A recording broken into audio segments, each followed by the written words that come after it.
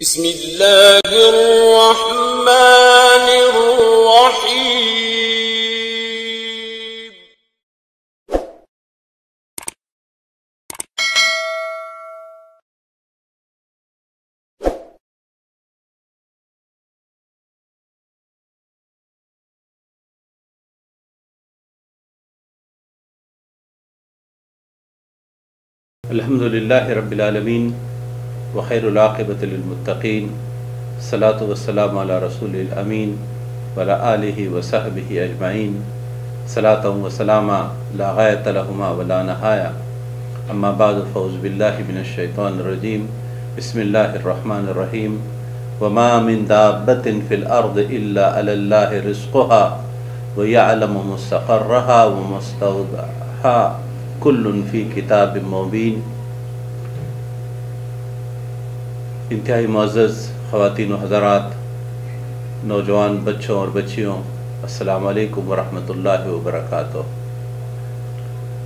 अल्लाह के करम से हम कुरान हकीम के मुख्तसर दौर तफसीर और कुरान हकीम के पारा बपारा अहम नुकात या सबकामोज़ नुकात को बयान करने के बारहवें सिलसिले में, बारहवें दिन, यानी बारहवा पारा आज हम लेंगे। ये पारा सुरहूद तकरीबन मुकम्मल, जिसके सिर्फ़ पाँच आयात ग्यारहवें पारे में गुजर चुके हैं, और बक़िया सुरहूद पूरा, और उसके बाद सूर यूसुफ का वाक़ है, यूसुफ़ अलैहिस्सलाम का, जिसे कुरान हकीम अहसन कसस से ताबीर करता है। बहुत सारे तालीमत इसबाक और रहनुमाइयों पर मुश्तमिल। तो आइए सबसे पहले सुरहूद के बारे में बात करते हैं। सुरहूद जिसमें अम्बिया का ज़िक्र है बाकियों का भी, और मरकज़ी मजमून इस सूरत का अम्बिया अलैहिस्सलाम की रिसालत का ज़िक्र, और इस बात की तफहीम कि अम्बिया ने जो दावत इंसानियत के सामने पेश की, वो हमेशा एक रही। जब अमल एक रहा तो रद्द अमल भी हमेशा यकसा रहा, कि ज़्यादती, जुल्म और तशद के अकसाम तो बदलते रहे, लेकिन रद्द अमल बुनियादी तौर पर एक रहा। रसूल अकरम सल्लल्लाहु ने सुरहूद के लिए, जब आप सल्लल्लाहु अलैहि से हज़रत बकर सदीक़ रज़ी तआला ने पूछा, या रसुल्ला आप बूढ़े हो गए हैं, ज़यीफ़ हो गए हैं, बाल में सफ़ेदी आ गई है। तो रसूल अकरम वसल्लम ने फरमाया, अबू बकर, मुझे सुरहूद और इस जैसी दूसरी सूरतों ने बूढ़ा कर दिया है। हम सुरहूद के मजामी का अगर मुताल करें तो सुरहूद में अल्लाह तबारक ताली की नाफरमानी करने वाले कौमों को अल्लाह तबारक ताली ने जिस अजाब अलीम, जिस मुस्तबिल की तबाही की बात की है उसके असरात यकीनन ऐसे हैं कि हर दाई काँप उठता है कि मुसलसल दावत का काम करते हुए भी कौम जब मुसलसल इनकार कर रही है तो इंजाम कहीं वो न हो जाए जो इससे पहले नू सलाम, हूद सलाम और लूत सलाम और दीगर सात अम्बिया का ज़िक्र करके सूरहूद में कुरान हकीम फरमाता है कि इन्होंने ये रद्द अमल दिया, इंजाम ये हुआ। तो सबसे पहले इस सूरत पारे का अल्लाह तबारक ताला ने जो पहला हुक्म इरशाद फरमाया, वमा मिन दाब्बतिन फिल अर्द अल्लाह रिस्क़ुहा रोई ज़मीन पर कोई भी रेंगने वाला, कोई चौपाया ऐसा नहीं है, मगर अल्लाह तबारक ताला ही के ज़िम्मे है, अल्लाह अहतमाम करते हैं उनके रिज़क का। रहा व मुस्तहा उसके ठहरने, रहने, थोड़ी देर के लिए या ज़्यादा देर के लिए ये सब कुछ अल्लाह तबारक ताला के इलम और किताब मुबीन का हिस्सा है। आयत करीमा ने बुनियादी अकीदा वाज फरमाया कि इस कायनात में हर हरकत, हर जानदार जो कुछ कर रहा है वो सब अल्लाह के इलम में है। नंबर दो, इन सब मखलूक़ के रिज़क और जिसको जिस जिस तरह का रिजक चाहिए, जितना चाहिए, उस सब की फराहमी अल्लाह रब्बुल आलमीन के ज़िम्मे है।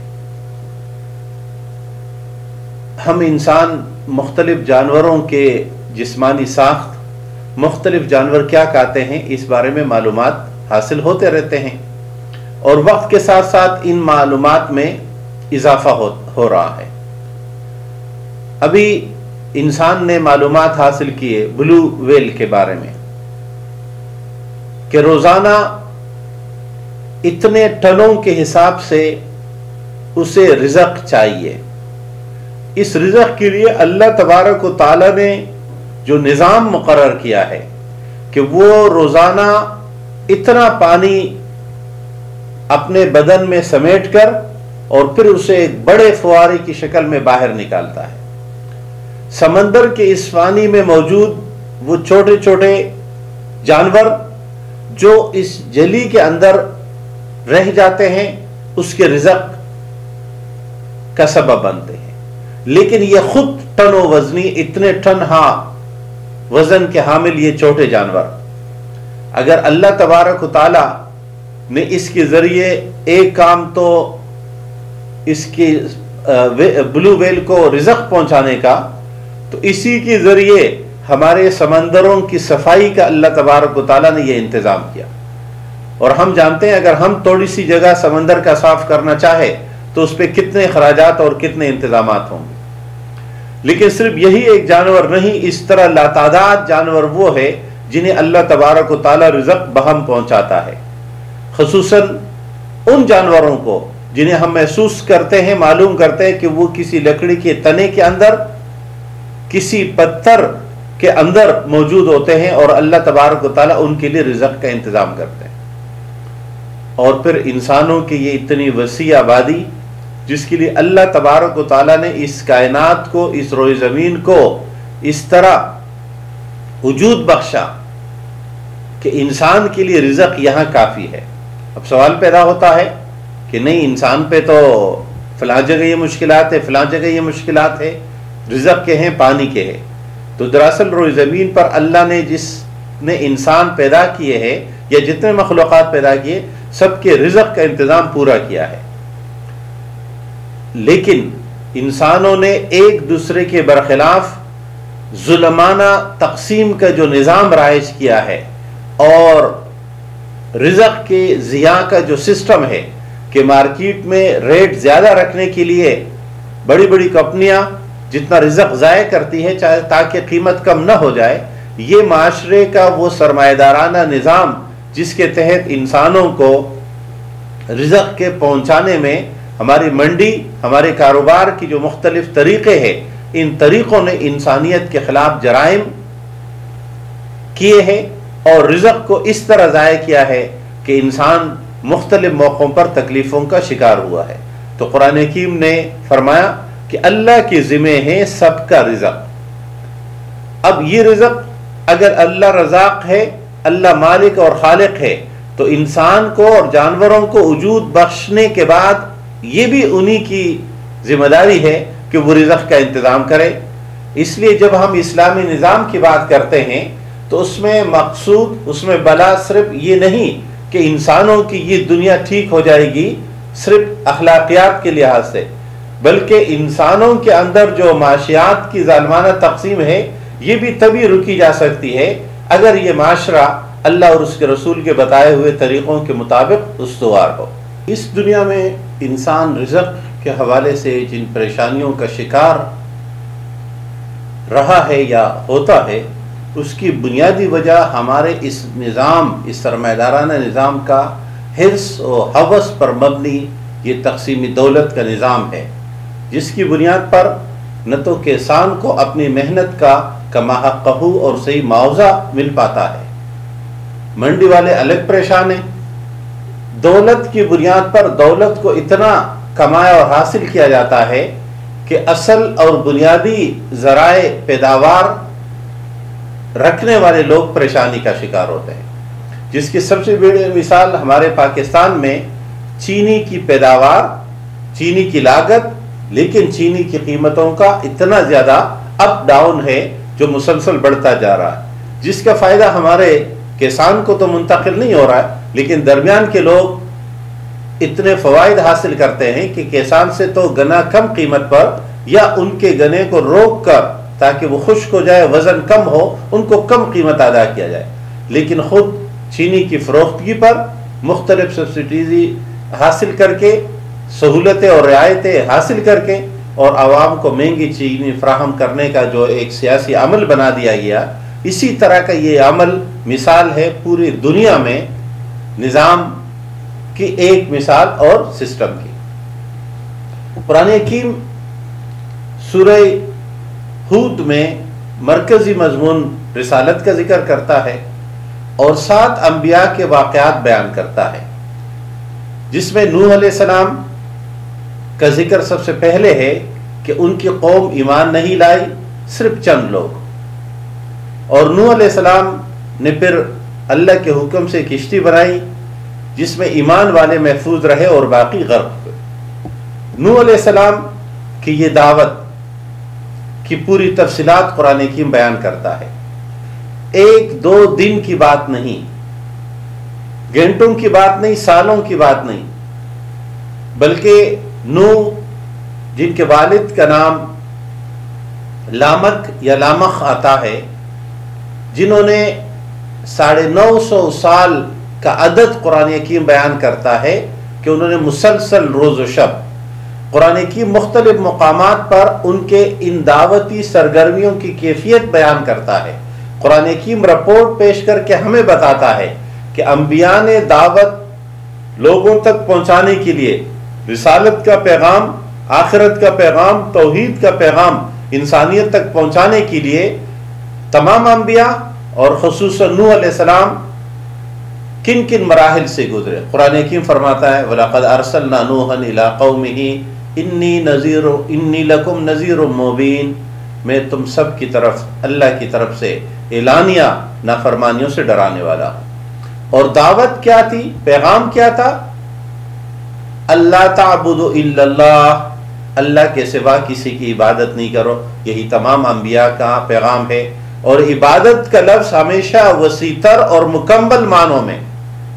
हमारे यहाँ अम्बिया की दावत में जब इबादत का लफ्ज आता है कि अल्लाह के सिवा किसी की इबादत न की जाए। तो ये समझा जाता है कि अल्लाह के सिवा किसी आ, के आगे सिर्फ़ सजदा न किया जाए। इबादत नाम है ज़िंदगी के हर हर मरहले में अल्लाह के आगे सर तस्लीम खम होने का। अल्लाह के सिवा किसी भी मरहले में किसी और की बात न मानने का। तोहीद अल्लाह को एक मानने के साथ साथ एक ही अल्लाह की मानने का नाम तोहीद है। इसलिए तमाम अम्बिया इंसानियत को अल्लाह की तरफ़, अल्लाह की फरमाबरदारी और इतात कामिल की तरफ़ बुलाते रहे। न सिर्फ़ इबादत में, बल्कि माशियात और सियासियात इन निज़ाम रियासत में भी तरीक़ेकार वही होगा जो इबादत में अल्लाह तबारक ताला अता करता है। इन्हें कितनी सतमजरफी है कि हम इस बात को तो गुनाह समझते हैं कि इबादत में किसी एक रकात को कम या ज़्यादा कर ले। किसी दो रकात वाली नमाज़ को तीन कर ले, तीन वाली को चार कर ले, या चार वाली को तीन कर ले।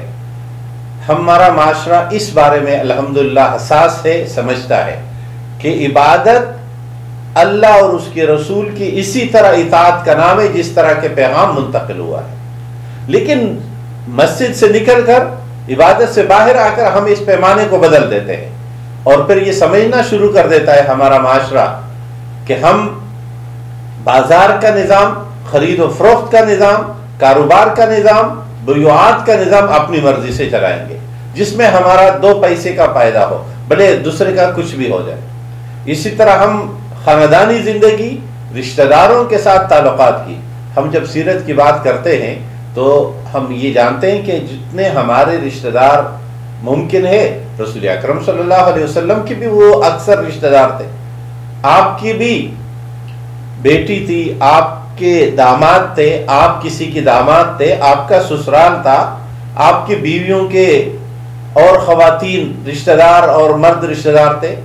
आप सल्लल्लाहु अलैहि वसल्लम ने अपने नवासों के साथ, अपने खानदान के साथ, अपने खानदान के बाकी रिश्तों के साथ ताल्लुकात कैसे रखे? ये भी अमल करने का हिस्सा है सीरतुलनबी का।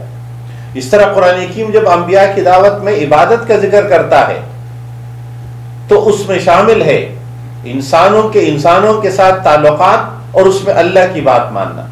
इस तरह जब फर्द और माशरे के ताल्लुक की बात रियासत की सूरत में आती है तो रियासत का निज़ाम क्या होगा? उसे अल्लाह और उसके रसूल के अहकाम के मुताबिक चलाना यही तोहीद है। अगर हम सियासी निज़ाम या रियासत का निज़ाम अपनी मर्ज़ी से चलाए और ये समझना शुरू करें कि सिर्फ़ मस्जिद के अंदर अल्लाह की बात मानी जाएगी।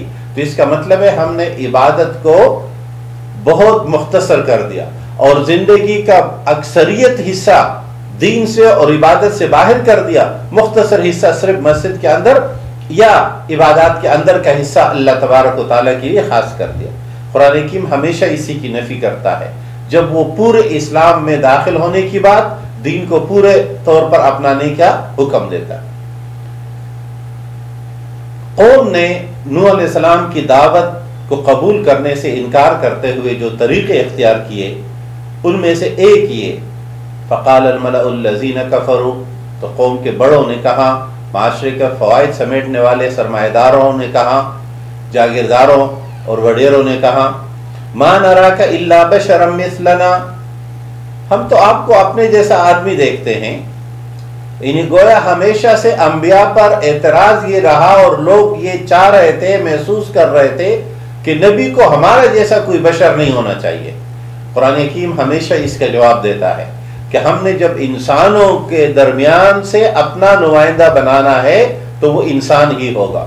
अगर हमने फरिश्तों को भेजना होता कि फरिश्तों के लिए किसी को पैगंबर बनाते तो हम फरिश्ता भेजते। अगर तुम्हारे लिए हम कोई फरिश्ता भेजते तो तुम कहते कि हम तो इसकी इतबा कर ही नहीं सकते।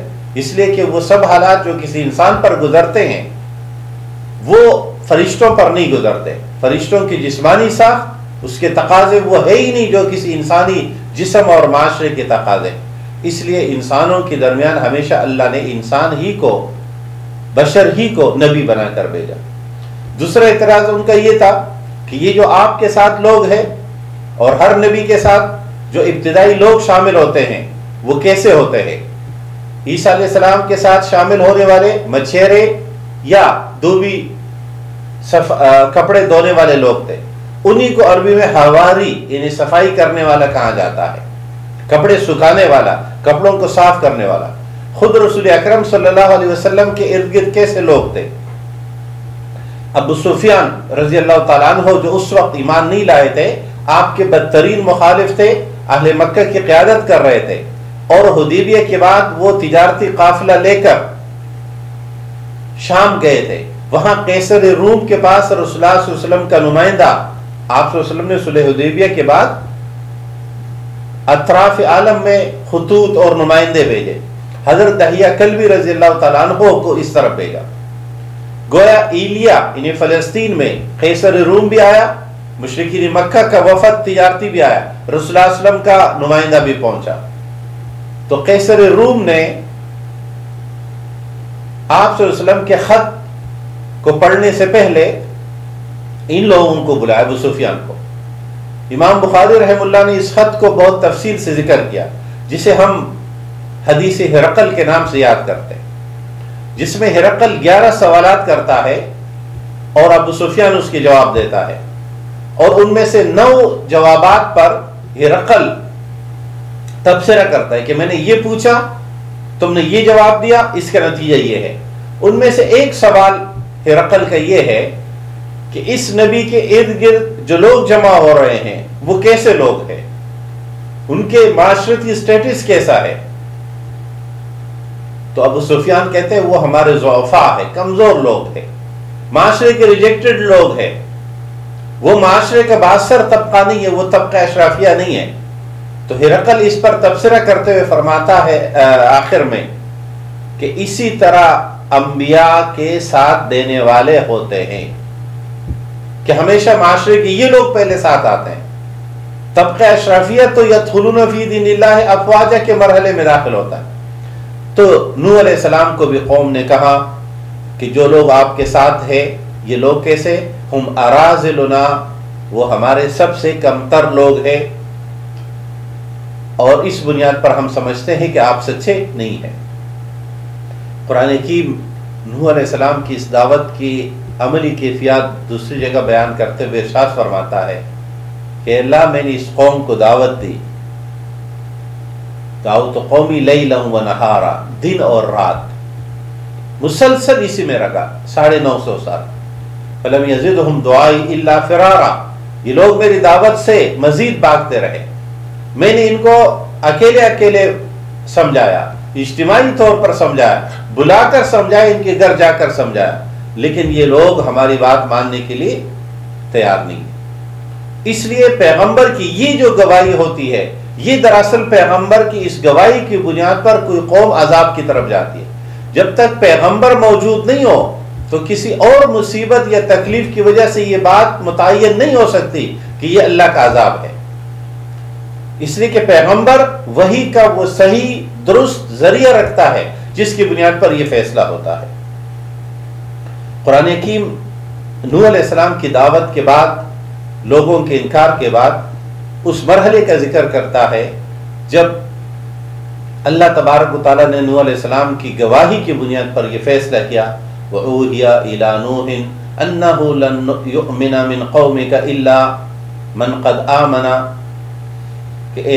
तेरे कौम में से जितने लोग ईमान ला चुके यही है। बाकी लोग ईमान लाने वाले नहीं है। फला तब बेमा कानू या फालून इनके करतूतों पर आप कोई नाउमीदी और मायूसी न दिखाए, बल्कि वसनाइल फुल का बेआना व वहीना, हमारे निगरानी में किश्ती बनाइए कौम की मुसलसल नाफरमानी के बाद नूह सलाम जब किश्ती बनाने लगे तो लोगों को एक और मज़ाक का मौका मिला। दावत का इनकार करते हुए मज़ाक उड़ाने लगे कि अच्छा यहाँ तो समंदर नहीं है, दरिया नहीं, किश्ती बन रही है। कुरान हकीम किश्ती की तकमील के बाद कि लोग मज़ाक उड़ाते रहे किश्ती बनती गई। कुरान हकीम ने फरमाया, इनको आप मज़ाक उड़ाने दे। फसोफ़तमूना मैयाती ही अजाब ही कि किस पर किस तरह का अजाब आता है। अगर ये लोग मज़ाक उड़ा रहे हैं फ़ैना कुम कमा तस्फरून हम भी इसी तरह तुम्हें दिखाएँगे कि जब तुम गर्क होगे। कुरान की फरमाद हत्ता इजाजा अमरुना वफारत तनूर। यहाँ तक कि हमारा हुक्म आया और ज़मीन के गहराई से पानी निकलने लगा। तनूर से मुराद, चाहे ज़मीन का निचले वाला हिस्सा, नशेब का हिस्सा या कोई मखसूस तनूर, दोनों मुमकिन है कि उसमें पहली मरतबा पानी निकल आया और जब पानी का ये, पानी ज़मीन से निकलने के ये आसार पैदा हुए, कुलना मिल फीहा मिन कुल्ल इसने। हमने हुक्म दिया, इस किश्ती में अपनी ज़रूरियात की जितने जानवर हैं, उनके दो दो जोड़े सवार कर लीजिए अपने साथ। वह अहल का और अपने खानदान के लोगों को भी सवार कीजिए। इलामन सबक़ौलो वमन आमना वमा आमना कलील। जो भी ईमान इन अहल ईमान, अपने खानदान के लोगों को सवार कीजिए। अहल ईमान गर्क होने से बचेंगे। और कुरान हकीम ने वो दुआ सिखाई जो हम आज तक किसी भी बहरी जहाज़ में, किश्ती में सवार होकर पढ़नी चाहिए।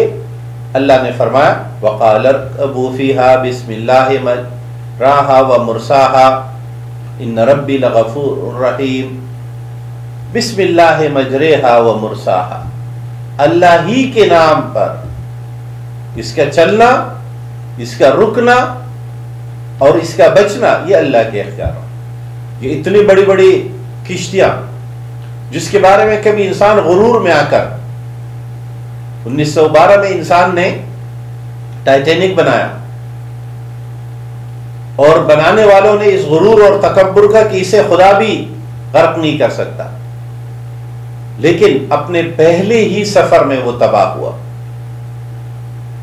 कुरान हकीम वाकयात बयान करते हुए हमारी रहनुमाई करता है। और मुस्तकिल कवायद कुलिया इरशाद फरमाता है। अब यहाँ ज़िक्र नू सलाम का, उनकी किश्ती का, उनके कौम के गर्क होने का।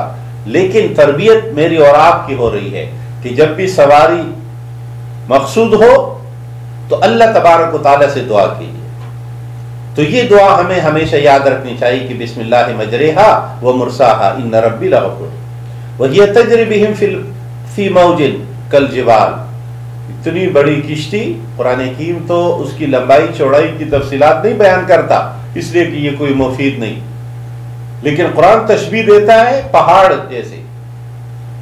बाइबल इसकी ये जुजियाती तफसील भी बयान करता है, लेकिन हमारे पास उसके तरदीद और तस्दीक का कोई ज़रिया नहीं है। इस मौके पर कुरान की फरमाता है कि जब किश्ती चल पड़ी नू सलाम ने पुकारा, वनादा नो हो न हो नू सलाम ने अपने बेटे को पुकारा, वखान फ़ी माजिल या बुनैयर कब माना बेटे, आओ, सवार हो जाओ, ताकि बच जाओ। एक बाप की कैफियत, दिली कैफियत, जहनी एहसास क्या होते हैं? जब तूफ़ान उरूज पे आ रहा हो, लहरें ऊँची ऊँची उठ रही हो, एक ही किश्ती दस्तियाब हो। और पैगंबर का बेटा या किसी भी बाप का बेटा अभी किश्ती के अंदर नहीं हो। तो हम में से हर शख्स अपने दिल पे हाथ रख के सोच सकता है कि हमारा कोई भी रिश्तेदार ऐसे हो तो हमारी कैफियत क्या होगी। दोस्त हो तो हमारी कैफियत क्या होगी। जानने वाला हो तो हमारी कैफियत क्या होगी। नूह सलाम ने भी अपने बेटे को पुकारा तो बेटे ने कहा, और साथ में ये कहा, सिर्फ़ बेटा एज ए नस्ल पुकारना मकसूद नहीं था कि काफिर होते हुए भी तू मेरे साथ सवार हो जा। बल्कि शर्त ये थी कि सवारी का ये मौका मिल सकता है, लेकिन शर्त क्या है? बला तकुन माल काफिरीन, काफिरों के साथ ना होना, मोमिनों में शामिल हो जाना, अहले ईमान में दाखिल हो जाना, और ये इस बुनियाद पर तुम इस तूफ़ान से बच जाओगे। तो बेटे ने कहा कालस आवी इला जबलिन या सिमुनी मिनलमा नहीं अब्बा, मैं पहाड़ पे चढ़ जाऊँगा। ये मुझे महफूज ठिकाना फराहम कर देगा ये पहाड़। इसका ख्याल ये था कि नान का नाम मशहूर है कि पानी कितना ऊपर आएगा। वो हमालिया के पहाड़ों के ऊपर तो नहीं जा सकता, लिहाजा कहीं ना कहीं मुझे जगह मिल जाएगी। और नूह सलाम की इस तूफ़ान और इसके असरात दुनिया भर में मौजूद है। यहाँ तक कि दुनिया में जितने चाहे हिंदू मत के जो कहानियाँ मौजूद है, उसमें भी एक किश्ती, एक तूफ़ान और उन्नीस ऋषियों का बच जाना, इस तरह दीगर जितने देवमालाई वाकयात जहाँ भी मौजूद है तो नू सलाम और उसके इस तूफ़ान का ज़िक्र है। इसलिए कोही जोदी के पहाड़ी सिलसिले में आज भी वो असरात मौजूद है और चूँकि जोदी का लफ्ज़ कुरान ने खुद इस्तेमाल किया है तो अवलीन मरकज के तौर पर उस जगह का ज़िक्र ज़्यादा तकवीत वाला है कि तूफ़ान का मेन मरकज यही रहा। और उसके बाद इसकी वसत क्या थी? इंसानी ज़मीन पे ये कहाँ कहाँ तक पहुँचा? कुरान की इन तफसीलात को बयान नहीं करता, लेकिन महसूस किया जाता है कि अल्लाह तबारक मुसलसल दावत और दीन का काम करने वाले तमाम नफूस कुदसिया की जब लोग नाफरमानी करता है तो अल्लाह झंझोड़ता है। यहाँ पर कुरान हकीम नूर सलाम के बेटे का ज़िक्र करते हुए हमारी रहनुमाई करता है कि हम अपनी औलाद की फ़िक्र कितनी करते हैं। तो काल सावी इला जबलिन यासिमुनी मिन अलमा काल ला आसिम अल मिन अमरिल्लाह इल्ला मन रहमा। सलाम ने कहा, बेटे, अल्लाह के हुक्म से आज किसी को कोई पनागाह नहीं मिल सकती, कोई नहीं बच सकता। मगर जिस पर वो अल्लाह रहम करे, जिसको वो बचाएगा, वो बच जाएगा।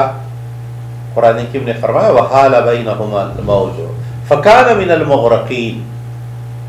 एक मौज, एक लहर हायल हुई और बेटा बाप की नज़रों से ओझल, डूबने वालों में शामिल। कुरान हकीम तूफ़ान की कैफियत में बढ़ोतरी का ज़िक्र करता है वकील या अर्ज़। हमने ज़मीन से कहा कि अपना पूरा पानी निकाल दो। वह या समाओ अकल आसमान अपना पानी बरसा दे। वगीज अलमाओ पानी जोश मारने लगा। वकुजियल अल्लाह का फैसला इन लोगों के बारे में जारी हो गया। वस्तवत, अब इसकी कैफियत गुजरती रही कि अल्लाह का हुक्म अब तूफ़ान को रोकने का हुआ। तो किश्ती को हुक्म हुआ, वस्तवत अलल जोदी ये किश्ती जोदी पर ठहर गई। इसके बाद लोग उतरने लगे। तो नू सलाम का एक मुकालमा अल्लाह तबारक ताला ज़िक्र फरमाते नूह ने पूछा, या अल्लाह वनादा नूह रब नूह सलाम ने रब को पुकारा। इस मुश्किल, इस तकलीफ़ हर हाल में पुकारा, हमेशा रब को जाएगा। फ़काला रब इन इब्नी मिन अहली अल्लाह, मेरा बेटा, मेरे अहल में से था इन वाद कल हक आपका वादा सच्चा है, और आप अहकमुल हाकिमीन है, सुप्रीम अथॉरिटी आपकी है। लेकिन मेरे बेटा का वादा आपका मेरे आले खाने के बचाने का था तो मेरा बेटा। अल्लाह तबारक ने रहनुमाई फरमाई, या नू हो ए नू इन समिन अहल का ए नू ये तेरे अहल में से नहीं, तेरे सुलभ में से ज़रूर था। तेरा नस्ली बेटा ज़रूर था, लेकिन ये तेरे दीन, तेरे नजरियात, तेरे अकायद में तेरे साथ शरीक नहीं था। इन अमल गैर सालेह इसका अमल सालेह नहीं था। फला तसल ने माले कभी इल्म। और ये कैफियत किस दर्जे की इसकी कुफर की थी, ये आप नहीं जानते। लिहाजा ऐसी चीज़ जिस बारे में इलम न हो, उसके बारे में नहीं पूछना चाहिए। तो नू सलाम अल्लाह के फरमा बरदार नबी कहने लगे रब इन्नी आऊज़ुबिकान असअलका मालई सली बिही इल्मुन। नू सलाम ने फरमाया, ए अल्लाह, मैं तेरी पनाह चाहता हूँ कि कोई ऐसा सवाल करो जिसके बारे में मुझे इलम नहीं। और अगर ये गलती हो गई, वो अल्लाह तगफिर ली व तरहमनी अकुम मिन खासरी अगर आपने माफ़ नहीं किया, रहम नहीं फरमाया तो मैं बहुत नुकसान उठाने वाले हूँ। कुरान कीम की अजमत बयान करता है बेसलामी। बेसलामिन सलामती के साथ उतर जा। और ये सलामती किसकी तरफ़? मिन्ना व बरकत आली का वाला उमिन और मेरी तरफ़ से ये बरकत तुझ पर और तेरी पूरी उम्मत पर। मिमन मा का जो भी उम्मत तेरे साथ है। ये लोग कुल कितने थे?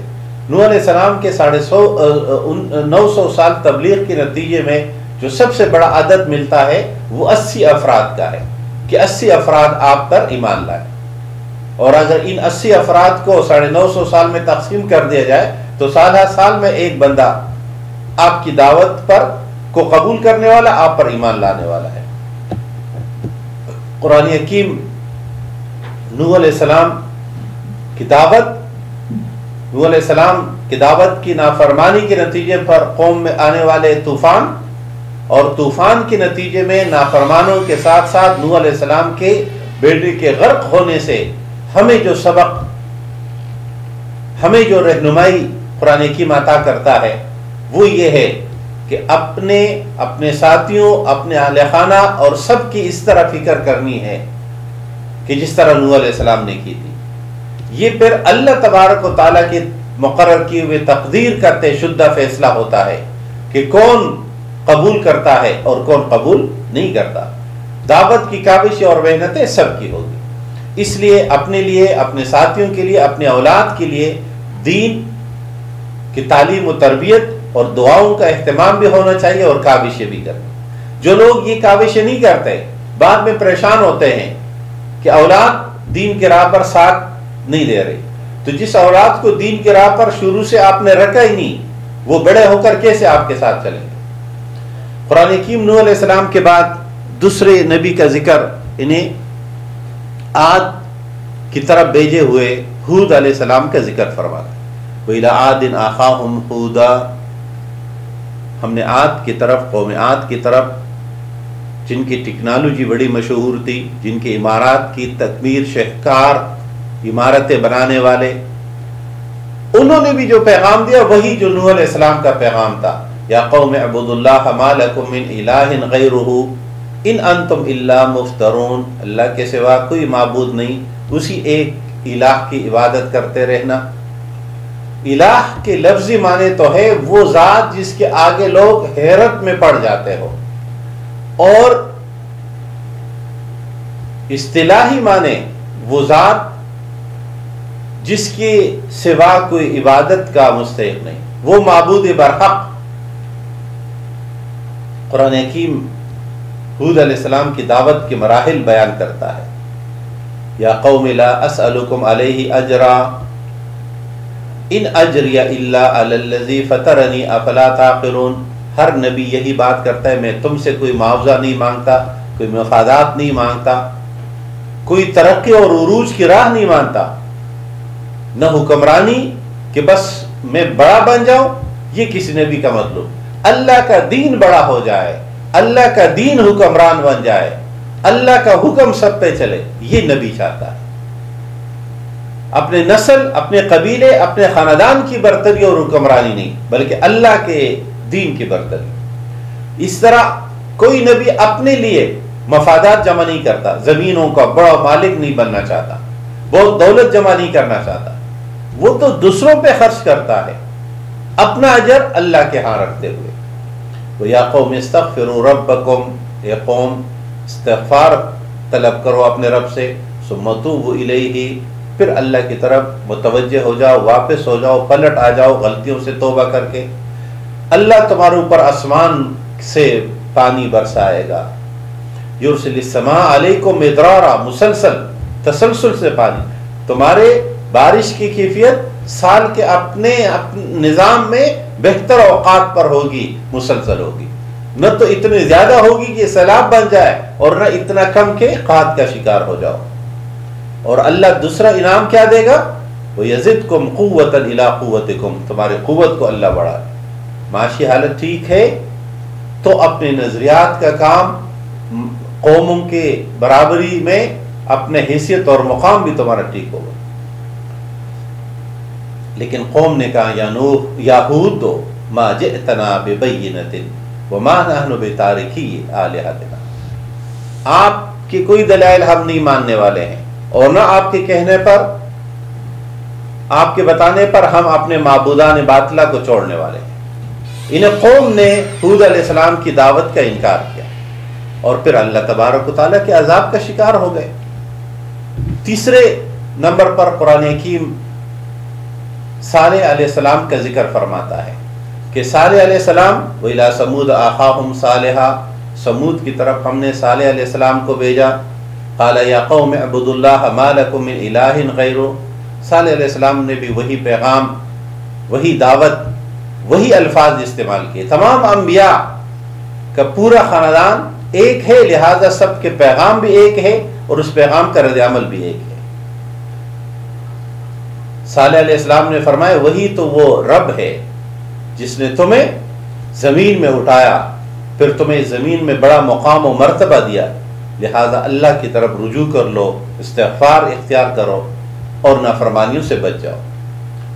कौम ने कहा, या साले कदकुन तफीना मरजून कबल हाजा। ए साले, हम तो तेरे बारे में ये गुमान नहीं कर रहे थे कि तू हमें हमारे अकदार व अकायद व तस्वुरात की मुखालफत करेगा। क्या तू हमें रोकेगा कि हम इबादत करें, जिनकी इबादत हम अपने अबाब अजदाद के दौर से करते आ रहे हैं? वह इन लफ़ी शक मम्मा तबून ही हम मेरे तो यकीन ही नहीं है जिसकी तरफ़ आप हमें बुला रहे हैं। ये मुकालमा, मारका, दावत का ये मुकाबला जारी था कि कौम ने एक सवाल किया कि ए साले सलाम, हम आपको उस वक्त बांधेंगे अगर इस चटान से एक ऊंटनी पैदा हो और वो भी हमला हो और फिर उसके बच्चे की विलादत हो।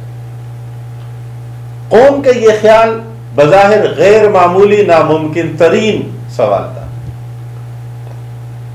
और इसे हम ऊटनी के मुआजे के नाम से ताबीर करते हैं साल सलाम का। मदायन सालह में ये कहानी, ये वाक़ आज भी वहाँ मौजूद है। समूद के लिए अल्लाह तबारक ताला ने ऐसी एक ऊँटनी अता कर दी। कुरान फरमाते या याकौम आया, ये अल्लाह की ऊँटनी तुम्हारे लिए अलामत है। निशानी है। कुरान हकीम ऐसे तमाम अलामत को आयत के लफ्ज से ताबीर करता है। उसकी गैर मामूली पैदाइश और ये सब लोगों के सामने हुआ। और अनकीम फरमाते कि साले ने फरमाया, फजरूहा ताकुल फिल अर्द। एक तो इसे छोड़ दो, ये जहाँ और जितना खाती रहे। ज़ाहिर साले इस्लाम की दिवाड़ी करके उसके लिए अलग चारे का इंतज़ाम तो नहीं कर पा रहे थे। तो इनकी ज़िम्मेदारी लेगी कि ये चारा तुम्हारे यहाँ से हासिल करेगी। और तुम कभी इसे बुरे नियत और इरादे से काटना नहीं। अब इन्होंने अल्लाह के दिए हुए इस मुआवजे का इनकार करके इस नुकसान को बड़ा करके महसूस करने लगे कि अच्छा हम अब इस ऊँटनी को पालेंगे। हमारा चारा ये खाती रहेगी, हमारा पानी ये पीते रहेगी, लिहाजा रजामल ये उठा। कि फ़ाकरूहा इन लोगों ने खुद के मांगे हुए इस मुआवजे के तौर पर मिले हुए उस ऊँटनी को काट डाला, मार डाला। और फिर फलम्मा जा अमरोना नजैना सालहन वल्लजीन आमनु माहू बेरहमत मिन्ना। हमने सालेह को बचाया, जो उनके साथ ईमान लाने वाले थे अपने रहमत और फजल और करम खास। और इनका अजाब क्या था कि एक तेज आवाज़ ने इन्हें पकड़ लिया। और उसके नतीजे में ये अपने मज़बूत इमारतों, पहाड़ों के अंदर तराशे हुए आज भी समूद के ये कंडरात मक्के से शाम की तरफ़ जाते हुए रास्ते पे मौजूद है और लोग आज भी ये इबरत हासिल कर सकते हैं कि अल्लाह तबारक की नाफरमानी करने वालों का इंजाम क्या होता है। ऊंटनी की ये पैदाइश भी वो मुआवजा है और हमारे बरसग़ीर और आलम इस्लाम का ये जो दौर ग़ुलामी गुजरा है इसमें मुसलमानों में से जो मगरब से मरूब व मखलूब जहनीत रखने वाले स्कॉलर्स पैदा हुए, जिसमें बर सग़ीर में जो मशहूर लोग गुजरे सर अहमद ख़ान, अब्दुल्ला चकड़ालवी या तमन्ना अमाद फुलवारी और इस जैसे दीगर बहुत सारे लोग, जिन्होंने खसूस इन गैर मामूली मिसालों का इनकार किया। और इसे सैद जमालुद्दीन अफगानी ने एक लफ्ज़ इस्तेमाल किया। ये वो नेचुरल परस्त लोग थे, मादा परस्त लोग थे, जिनके समझ में ये बात नहीं आई कि जिस अल्लाह ने कायनात के जिस मादे को जो जो नेचर अता किया है, कायनात का मालिक ही उस नेचर को चेंज कर सकता है, तब्दील कर सकता है। तो इन्होंने इस उसूल को अपनाया कि भाई नेचर चूँकि नहीं बदलता, लिहाजा पत्थर से ऊंटनी का नमूदार होना मुमकिन नहीं है। किसी पत्थर से चश्मे का होना बारह चश्मों का फूटना मुमकिन नहीं है। तो लिहाजा कहना शुरू किया कि कुरान हकीम जब बनी इसराइल के बारह चश्मों का ज़िक्र करता है तो इसका मतलब यह है कि आप अपनी असा ए मूसा टेकते हुए जाइए, सामने एक वादी आएगी। वद्रब असाकल हजर, और जरब के माने चलने के किए। हालाँकि जरब के एक माने चलने के ज़रूर आते हैं, लेकिन जरब का सिला जब जरब से पहले बा का ज़िक्र हो तो फिर उसके माने मारने के होते हैं। जरबा के बाद जब अला आए तो तब ये माने तो हो सकते या इला के मानों में जब इस्तेमाल हो। इसलिए सरसम खान अपने तफसीर में ये बात लिखता है कि यहाँ जरबा के माने चलने के हैं और बा के माने इला के हैं। कि यहाँ अपने लाठी की बुनियाद पर आप चलते हुए, लाठी को टेकते हुए जाइए, आगे आपको पानी मिलेगा। इस सूरत में तो ये मुआवजा नहीं रह पाता। और ये तो एक मिसाल है, यहाँ ऊँटनी के लिए भी तो जिहाद किए गए कि अमलन किसी ऊँटनी का, किसी पत्थर से वजूद या बाहर निकलना मुमकिन नहीं। इसलिए मौलाना मौदूद रहमत ने सरस खान के लिए बहुत दुरुस्त जुमला कहा था कि बर सग़ीर में जितनी गुमराहियाँ हैं, इन सब का सिरा बर आखिर सरसैद अहमद खान तक पहुँचता है। ये मुस्तकिल एक तर्ज नाफरमानी है और ये एक अकलियात खुद साख्ता तस्वुरात, कुरान और सुन्नत को बालातर रखने के बजाय अपने तस्वुरात के मुताबिक उसको डालने की ये काविश है जो उमूमन उन स्कॉलर्स में पैदा हो जाती है, जो अपनी बुनियादों पर कड़े रहने के बजाय दूसरों के अगयार से मरूब व मगलूब जहनीत जो कि गुलामी का लाजमी खासा है और ऐसे लोग हर वक्त और हर दौर में रहते हैं। कुरान इब्राहिम आसमाम का ज़िक्र फरमाता है वलक़त रसुलना इब्राहिम। हमने इब्राहिम के पास हमारे नुमाइंदे आए, उन्होंने सलाम अर्ज़ किया। और फिर मेहमान नवाजी के तौर पर उनके लिए अंजा आब इजलिन हनीज एक रोस्ट किए हुए एक बिछड़ा, बछड़ा पेश किया और उन्होंने खाने के लिए जब हाथ आगे नहीं बढ़ाए, यहाँ कुरान की हमारी रहनुमाई करते इस्लामी अकदार की। हमारा जो शहरों में खसूस मिजाज बन गया है कि मेहमान खाने के वक्त आया है या नहीं, खाने के वक्त नहीं आया, पहले इतला देकर आया है या नहीं आया मेहमान नवाजी इस्लामी सिफात में से तर्ज माशरत में बुनियादी तरीन सिफत है। और इस मेहमान नवाजी में बेतकल्लुफी और ही इसका खासा है। ये जो हमारे यहाँ एक तरफ़ सरमादाराना तस्वुर ने दावतों को महँगा तरीन कर दिया, मुश्किल तरीन कर दिया, लिहाजा वो तो साल में एक मरतबा ही मुमकिन हो पाता है। लेकिन उमूमी तौर पर एक दूसरे के यहाँ आते जाते या जब मिलते हो, उस वक्त जिसका मरहला है टाइम जिसका है, जो वक्त है, उस पर सब लोगों को शरीक होकर इसलिए इब्राहिम आसमाम ने मेहमानों से ये नहीं पूछा कि आप खाना खाएँगे या नहीं खाएँगे, बल्कि खाना आ गया, इसी के खाने का वक्त था। फलम आइदिया लातसिलो ही जब इब्राहिम ने देखा कि मेहमान खाना नहीं खा रहे इससे एक बात तो ये साबित हुई कि कोई नबी इल्म गैब नहीं रखता। यहाँ इब्राहिम को ये पता नहीं चला कि ये खाने के, ये आने वाले लोग, ये इंसान नहीं, ये फरिश्ते हैं। तो उन्हें खौफ महसूस हो। वह अवज समिन हम खीफा। खालू फरिश्तों ने कहा, ला तखफ इन्ना उर्सिलना में घबराइए नहीं, हम फरिश्ते हैं हम तो यहाँ आए सिर्फ़ लूत के कौम को सजा देने के लिए। वम रात हो कामतन इब्राहिम अलैहिस्सलाम की बीवी तब सामने आई, मुस्कुराते हुए, और फबशरना हा इसहाक। फरिश्तों ने उनको इसहाक अलैहिस्सलाम की पैदाइश की खुशखबरी दी, और वह वरा इसहाक याकूब, और इसहाक के बाद उनके बेटे याकूब। तो जब ये खुशखबरी दी तो इब्राहिम अलैहिस्सलाम की बीवी कहने लगी खालत या वही लती या वही लता आले दो, व अनाजूज अरे, ये बड़ी अजीब बात है कि मैं इस हालत में बच्चा मेरा होगा, जबकि मैं बूढ़ी हो चुकी हूँ, मेरा शोहर जो है वो भी बूढ़ा हो चुका है। इन नहाज लशे अजीब। ये तो अजीब सी बात होगी। पुरानी की इब्राहिम के इस ज़िंदगी का एक मुख्तसर वाक़ जब वो फरिश्ते लूत सलाम के कौम की तरफ़ जा रहे थे, दरमियान में यहाँ अमद और लूत सलाम चूँकि इब्राहिम सलाम के रिश्तेदार थे और इब्राहिम सलाम ने ही उनकी दावत की ज़िम्मेदारी लगाई थी। तो इब्राहिम सलाम को जब ये पता चला कि ये फरिश्ते तो वहाँ उस कौम को सजा देने जा रहे हैं तो इब्राहिम सलाम ने कोशिश की कि एक और मौका उनको मिले।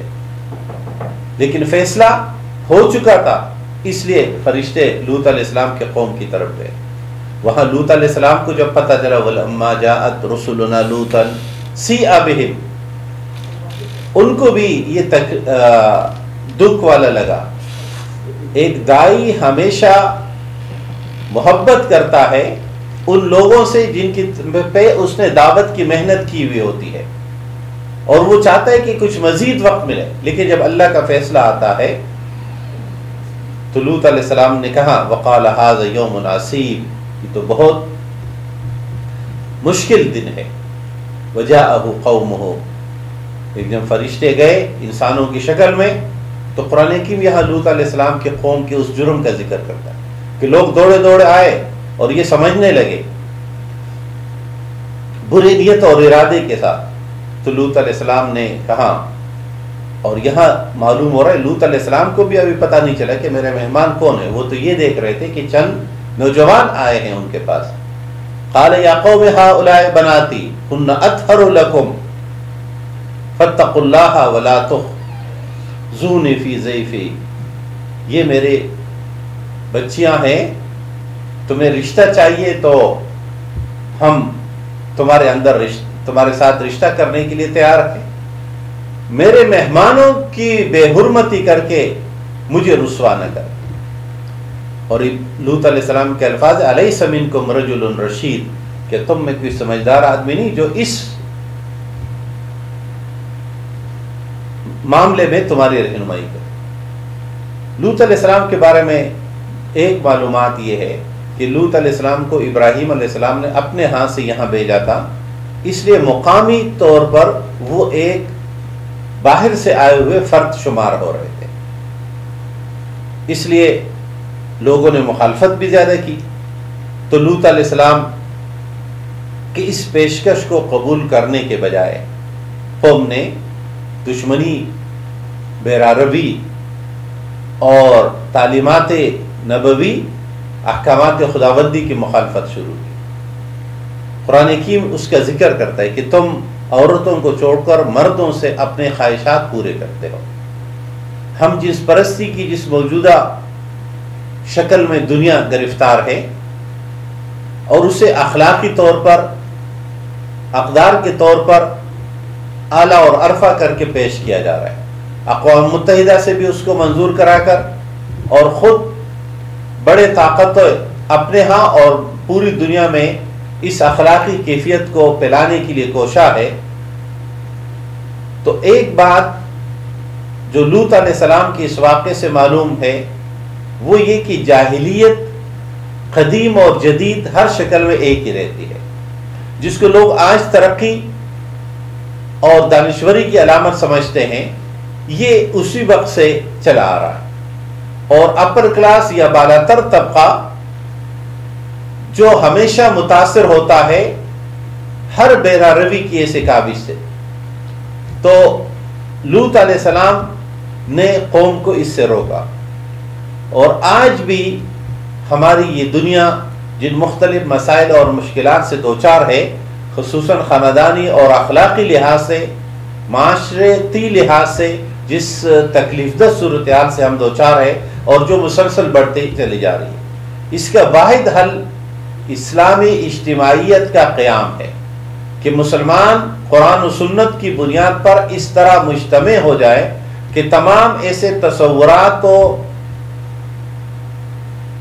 और इस तरह के ख्यालात, इस तरह के अमाल को अपने हाथ दर आने से रोके। इसलिए हमेशा ऋण कॉरपोरेशन ही नहीं, बल्कि उससे पहले के जो सबसे ज़्यादा काविशी की जाती है वो ये कि मीडिया के ज़रिए ऐसे चीज़ों को हमारे ड्रामों के ज़रिए उसको अच्छा करके, उसको बेहतर करके पेश करना और उसको एक इंतहाई आला तरीन आइडियालॉजी के तौर पर कि यही तो तरक्की की अलामत है, यही तो अजमत और रफत की अलामत है कि वो सब उन सब गंदगी और उन सब बुराइयों को इख्तियार किया जाए जो कि मगरब हमारे यहाँ पेश करता है। इसका मतलब ये नहीं कि हम ये चाहते हैं कि मगरब इसका शिकार रहे और हम उससे बच जाए। मुसलमान इंसानियत से हमेशा इखलास रखते आ रहे हैं और रखते हैं। इसलिए कि ये इंसानियत का तस्वुर ही इस बुनियाद पर है जो इस्लाम का तस्वुर है। और इस्लाम हर इंसान को अल्लाह की नाफरमानी से बचाना चाहता है। इस्लाम हर इंसान को अखलाक के अला तरीन पैमाने पर देखना चाहता है। इसलिए वो एक एरिया में जब हम इस्लामी निज़ाम की बात करते हैं तो हम उस नमूने अमल को पेश करना चाहते हैं, ताकि बाकी दुनिया उसे मान ले। ये बात दुरुस्त है कि कुछ लोग इस बात को तस्लीम करते हैं कि दुनिया के मुस्तबिल का मसला वो इकतसादियात नहीं, बल्कि अखलाकियात है। इंसानी माशरा जिस अखलाकी बेरारवी का शिकार हो गया है, उसकी बुनियाद पर परेशान कन सूरत हाल जो पेश आएगी, वो ये नहीं होगी कि माशी मसाइल का दुनिया के पास कोई हल नहीं होगा, बल्कि ये होगा कि माशी सूरत हाल के बेहतर और फरावानी होने के बावजूद भी अखलाकी तौर पर हम इतने तबाह होंगे कि इंसानियत के लिए कोई मुफीद सूरत पैदा नहीं हो सकेगी। तो लूत सलाम के इस वाक़े में अखलाकियात का सबक और खसूस इस पहलू से कि अल्लाह तबारक ताली ने इंसानों और जानवरों में जिनसी तस्कीन का जो फ़र्क रखा है, उस फ़र्क को मलहूज खातिर रखा जाए। इस्लाम ममानियात नहीं करता। रिश्ते, नाते, तमाम ताल्लुक दुरुस्त और सही होने चाहिए और इस बुनियाद पर नस्ल और नस्ब इंसानी को महफूज रखना और हर बच्चे का यह हक होना कि उसका बाप मालूम हो, उसकी वालदा मालूम हो और उसके खानदान का तसलसल दुरुस्त तरीके से आगे चल सके।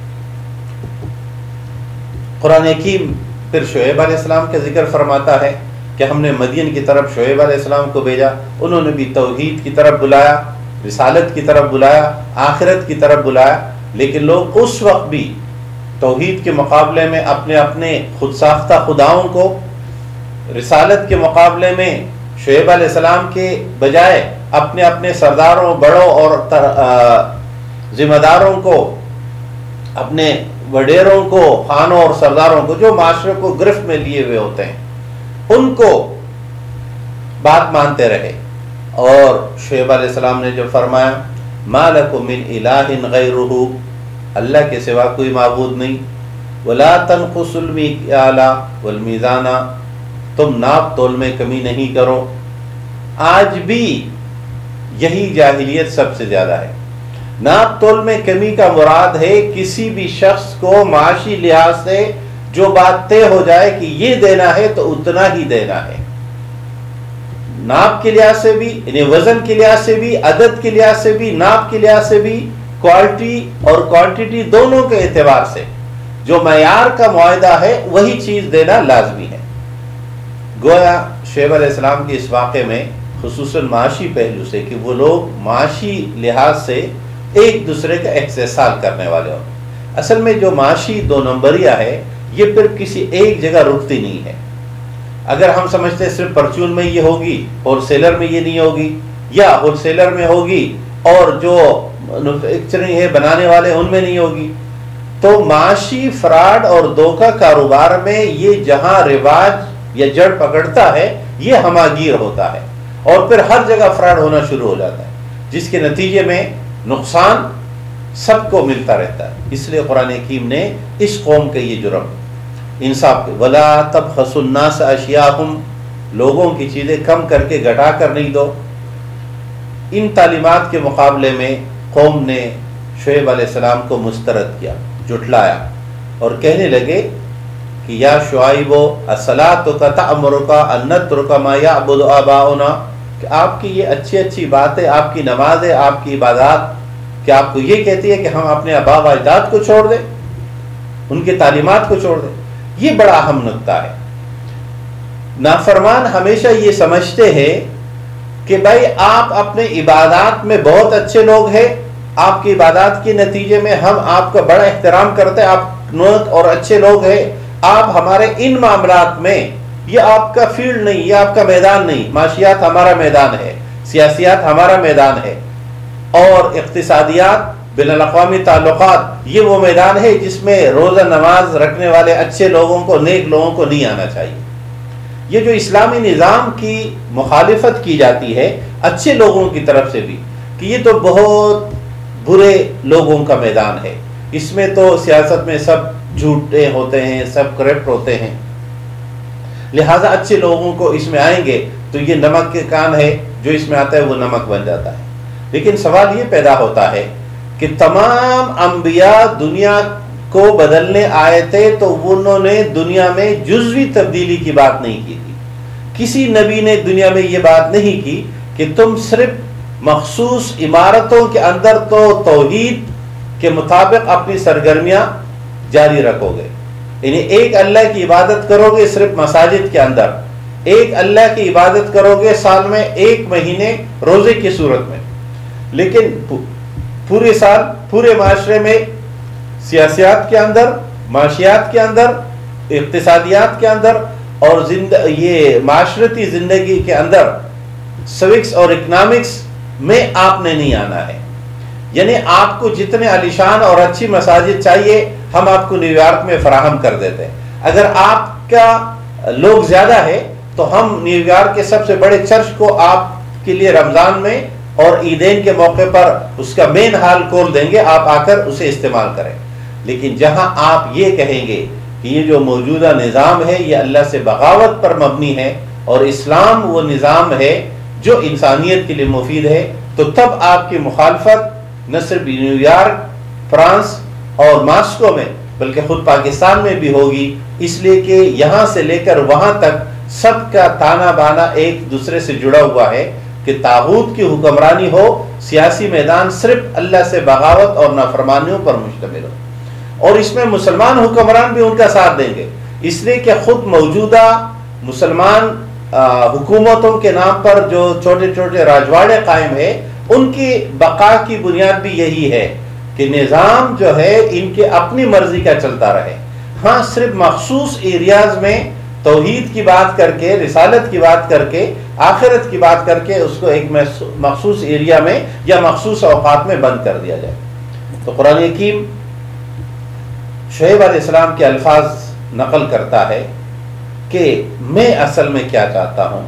फरमाया इन उरीदो इल्लाह मस्तता तो वमा तोफ़ीक इल्ला बिल्लाह अलैहि तो व इलैहि उनीब। मैं तो सिर्फ़ इरादा करता हूँ नेकी का, तुम्हारे इसलाह का, जहाँ तक मुझसे मुमकिन हो सकेगा। गोए दाई और दावत का काम करने वाला, अल्लाह कुरान का पैगाम पहुँचाने वाला, मायूस से मायूस तर कर देने वाले हालात में भी यकीनी महकम के साथ खड़ा रहता है कि मैं तो अपनी ज़िम्मेदारी सर अंजाम देता रहूँगा। जहाँ तक मुझसे हो सकेगा, बन पड़ेगा, मैं अल्लाह के दीन का लंबरदार रहूँगा। कोई मानता है या नहीं मानता, इसमें मैं अल्लाह की तोफीक के लिए हमेशा हसूल की काविश करता रहूँगा, उसी पर तवक्ल करता रहूँगा और उसी की तरफ़ रुजू करता रहूँगा। वो जब चाहेगा, इस सूरत हाल को बदल देगा। कुरान हकीम फिर मूसा सलाम का ज़िक्र फरमाता है सूर्य हूद में कि मूसा सलाम आए, फ़िरौन के साथ मुकाबला करते हुए फ़िरौन हक, हिदायत और सच्चाई रुश्त की राह पर नहीं था, बल्कि फ़िरौन क़यामत के दिन यकदम कौम हो यौमल क़यामा वो क़यामत के दिन अपने लोगों को लेकर आएगा। फ़तबाउ अमर फ़िरौन वमा अमर फ़िरौन बिरशीद यकदम कौम हो यौमल क़यामा नार अपने मानने वालों को लेकर जहन्नम पे पहुँच जाएगा और वो जाने की बहुत बुरी जगह है जहाँ लेकर यानी क़ियादत और लीडरशिप के लिए हमेशा आँख की खोल देनी चाहिए कि वो किस तरफ़ जा रही है। क्या हमारी क़्यादत हमें नेकी और अच्छाई की तरफ़ लेकर जा रही है और या वो हम आँखें बंद करके एतमाद करके किसी और तरफ़ पहुँच जाए। कुरान ने फरमाया कि इन लोगों पर अल्लाह की लानत आखिरत में भी और दुनिया में भी।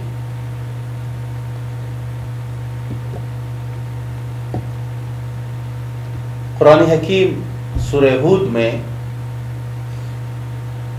एक मजमू बात इरशाद फरमाता है कि ये जितने कौमें अल्लाह ने तबाह की, ये सात अम्बिया का ज़िक्र करके उसूल कुरान हकीम ने फरमाया कि फ़लाका नमिन अलक़रून मिन कबलकुम, कि ऐसा क्यों नहीं हुआ कि तुमसे पहले जितने कुरून गुजरे, ये सब के सब वो लोग थे, जिनको यनहौना अनिल फसाद फिल अर्द कि इनको ये रुक जाते, ये मना हो जाते, इनको मना कर दिया जा रहा था तो ये मना हो जाते। ये लोग मना नहीं, इल्ला कलील मगर थोड़े से। मिमन अंजना मिन उन्हीं थोड़े लोगों को हमने निजात दी। वत्तबाजीन मा उतरफी और इसमें बड़े बड़े लोग इन्हीं का साथ देते रहे और ये लोग मुजरिम इस बुनियाद पर यह फैसला होता रहा। इस बुनियाद पर फैसला नहीं हुआ कि कोई कौम, कोई खानदान, कोई लोग अल्लाह के लाड लेते और दूसरे अल्लाह के दुश्मनी थी अल्लाह वाले जब जहाँ जिस जबान के, जिस नस्ल के थे, अल्लाह ने उनका साथ दिया। वमा का न रब अब कुरान की फार्मूला बताते कि अल्लाह तबारक ताला वमा का न रब कलकुरा बेजुल्म। अल्लाह तबारक ताला जुल्म के साथ, जुल्म करके किसी बस्ती को तबाह नहीं करता। वह अहलहा मुसलहून।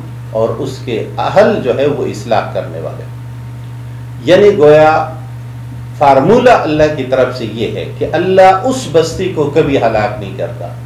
जब तक उसके रहने वाले, उस मुल्क, उस इलाके, उस दुनिया के रहने वाले इसलाह करने वाले हो। उमूमन इंसानी माशरा तीन तरह के लोगों पर मुश्तमिल होता है। एक वो है जो बुराई करते हैं और बुराई फैलाते हैं। दूसरे वो है जो बुराई करते तो नहीं है, लेकिन बुराई को रोकते भी नहीं। और तीसरे वो है जो बुराई करते भी नहीं और बुराई को रोकते भी तो कुरान हकीम ने पहले ज़िक्र किया अनिल फसाद फिल कि ज़मीन में जब तक वो लोग होंगे जो लोगों को फसाद फिल अर्ज़ से रोकते हैं और इसलाह की कोशिश करते हैं तो अल्लाह का अजाब नहीं आता।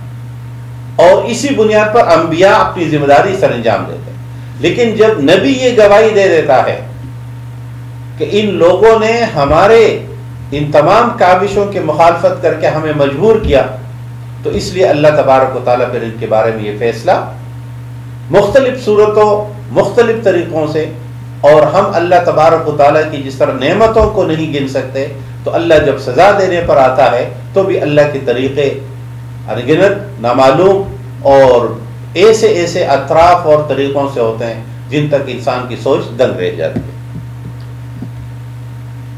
कुरान हकीम बारहवें पारे में आगाज़ करता है सूर यूसुफ का। और यूसुफ अलैहिस्सलाम, जो याकूब अलैहिस्सलाम के बेटे हैं, याकूब अलैहिस्सलाम, इसहाक अलैहिस्सलाम के बेटे हैं, और ये इसहाक अलैहिस्सलाम भाई है इस्माईल अलैहिस्सलाम के। इसहाक अलैहिस्सलाम और इस्माईल अलैहिस्सलाम इब्राहिम अलैहिस्सलाम के बेटे हैं। इब्राहिम ने दो दावती मराकज़ कायम किए खुद उनकी पैदाइश और मौजूदा इराक में हुई थी, उन्होंने एक दावती मरकज़ फ़लस्तीन में कायम किया और एक दावती मरकज़ काबतुल्ला इन मक्का में कायम किया। अपने एक बेटे इस्माइल और उनकी वालदा हाजरा को मक्के में और अपने एक बेटे जो इस्माईल के बाद पैदा हुए, जब इस्माईल को कुर्बान करने की अल्लाह तबारक ताली ने हुक्म दिया और इब्राहिम ने पेश किया तो उस इनाम के तौर पर अल्लाह तबारक ताली ने इस्माइल की जगह तो जन्नत से एक दुम्बा भेजा और खुशखबरी सुनाई कि हम आपको एक और बेटा देंगे, जिसका नाम इसहाक होगा और उनकी वालदा सारा अलैहिस्सलाम को फ़लस्तीन में इब्राहिम अलैहिस्सलाम ने रखा। इसाक अलैहिस्सलाम के बेटे याकूब का लक़ब इसराइल है। और इसराइल की इस लक़ब की वजह तस्वीयाँ मुसलमान मुफसरीन यहाँ तक कि इबन अब्बास रज़ी अनहो का कौल भी है कि इसका मुराद है अब्दुल्ला, यानी अल्लाह की इबादत करने वाला। और खुद बाइबल में इसकी वजह तस्मिया एक बहुत नाकबिल फ़हम या बहुत अजीब सी बनी इसराइली मिजाज यहूदियों के तखयलाती अंदाज के मुताबिक है कि वो अम्बिया को किस तरह पेश करते हैं। उनका ख्याल ये है कि एक रात अल्लाह इंसानी शक्ल में याकूब के पास आए, दोनों ने रात भर मुकाबला किया, कुश्ती लड़ी, जिसके नतीजे में अल्लाह नाउजबिल्ला याकूब को शिकस्त नहीं दे सके, बल्कि याकूब ने अल्लाह को बिछाड़ दिया। तो इसलिए अल्लाह ने उनको इसराइल का लक़ब दिया, जिसमें बकौल उनके माने हैं, अपने रब को, अपने अल्लाह को बिछाड़ने वाला, शिकस्त देने वाला कुश्ती में गिराने वाला। लेकिन इस्लामी तालीमत, इस्लामी माखजात में इसके ये माने मशहूर है और यही दुरुस्त है। इसलिए कि वो माने तो मानवी तहरीफ वाले हैं। अल्लाह और पैगंबर का या इंसानों के साथ अल्लाह का ताल्लुक इस नौीयत का कभी नहीं रहता। और इससे ये बात मालूम होती है कि यहूदी कितनी बड़ी गुस्ताखी करते रहे हैं अम्बिया के बारे में। कुरान कीम इसलिए उनकी अजमत बयान करता है हर नबी। अल्लाह तबारक ताला ने याकूब सलाम की ज़िंदगी ही में उनको बारह बेटे अता किए, जिनमें से यूसुफ सलाम और उनका भाई बिनयामीन की माँ एक थी राहिल नाम जिनका आता है, और दूसरों की वालदा अलग याकूब सलाम यूसुफ सलाम कम उम्र ही थे, और अपने वालिद की मोहब्बत का बड़ा हिस्सा हासिल किया था। कुरान हकीम इस वाक़े को बयान करता है, जिसमें एक तरफ़ याकूब सलाम एक बाप की शफकत, मोहब्बत और खलूस है। बाप के कई सारे बेटे हैं। वो बेटे आपस में यूसुफ और उनके भाई बिनयामीन के मुखालिफ होते हैं कि ये नहीं होंगे तो हम एक ताकतवर दस्ता होंगे। अल्लाह तबारक ताला एक निज़ाम बनाता है कि ये भाई मिलकर बहाने से यूसुफ को ले जाते हैं। एक कुएँ में डालते हैं। अगले दिन एक काफिला वहाँ से आता है। तो याकूब सलाम के बाकी बेटे जब देखते हैं कि काफिले वालों ने यूसुफ को निकाला तो वो आते हैं कि नहीं, ये तो हमारा गुलाम है। और फिर एक कम कीमत पर उसे फरोख्त करते हैं। और काफिला उनको ले जाकर मिस्र में फरोख्त करता है। मिस्र में अज़ीज़ मिस्र खरीदता है। अज़ीज़ मिस्र के घर में परवरिश पाने के बाद जब एक कहत की कैफियत आती है और मिस्र का हुक्मरान कहत की सूरत हाल से निकलने के लिए यूसुफ जो जेल में होता है मालूम हासिल करता है कि यूसुफ रहनुमाई कर सकता है सलाम। तो रहनुमाई के लिए यूसुफ को हासिल बुलाते हैं। यूसुफ सलाम न सिर्फ़ रहनुमाई बल्कि अमली उस माशी प्रोग्राम पर अमल पैरा होने के लिए अपने इकतदार की पेशकश करता है कि आप जमाम कार मेरे हाथ में दे दे, मैं इस मुश्किल हालात से निकालूँगा, इसलिए कि मैं हफीज़ और अमीन हूँ। और इस तरह अल्लाह वो एतमाद करते हैं। इकतदार यूसुफ अलैहिस्सलाम के पास आता है। यूसुफ अलैहिस्सलाम के बेटे, यूसुफ अलैहिस्सलाम के भाई जब कहत के दौरान गले के हसूल के लिए आते हैं, गला हासिल करते हुए यूसुफ अलैहिस्सलाम ऐसा तरीका अपनाते हैं कि अपने भाई बिन यामीन को बुलाते हैं और फिर उनके सामने बात खोल देते हैं और अपनी कमीज उनको देते हैं कि जाइए और मेरे वालिद याकूब को बुलाइए। इस तरह दरअसल यूसुफ अलैहिस्सलाम का ख़ानदान मिस्र मुंतकिल होता है, हुक्मरान ख़ानदान के तौर पर। यही ख़ानदान मिस्र में अपनी इन जिम्मेदारियों को पूरा करता है यूसुफ अलैहिस्सलाम की नस्ल में। आहिस्ता आहिस्ता जब अल्लाह की नाफरमानी इख्तियार करते हैं, जुल्म शुरू कर देता है तो मुकामी रद्दमल उठता है और ये बनी इसराइल वहाँ बलाखिर इकतदार से हट जाते हैं, गुलाम बना दिए जाते हैं। फिर अल्लाह तबारक ताली मूसा मबूस फरमाते हैं, जो इनको फ़िरौनी ख़ानदान से, फ़िरौन से निजात देता ये है पूरा वो मुख्तसर वाक़ जिसको हम कुरान हकीम की इस आयत में कुछ कुछ नुकात में सुर यूसुफ में देखेंगे। और सुर यूसुफ के बारे में ये बात याद रहे कि कुरान हकीम तमाम अम्बिया के इन वाक़ात में से इस यूसुफ अलैहिस्सलाम के वाक़े को अहसन से ताबीर करता है। यानी बहुत सारे अम्बिया के वाक़ात कुरान की बयान करता है। एक खूबी यह है कि यूसुफ अलैहिस्सलाम का वाक़ पूरा का पूरा एक ही जगह सुर यूसुफ में बयान हुआ है। इसके अलावा बाकी अब जगह यूसुफ अलैहिस्सलाम का नाम तो लिया गया है, लेकिन तफसीलात नहीं बताए गए।